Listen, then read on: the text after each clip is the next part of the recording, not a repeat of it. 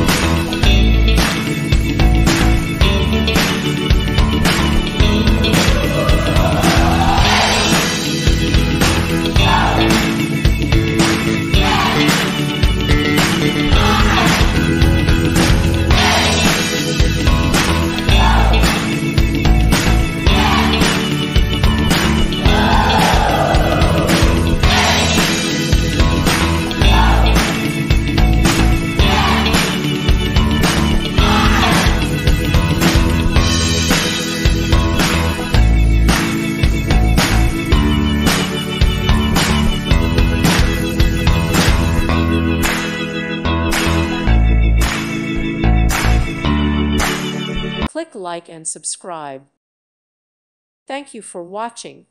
God bless.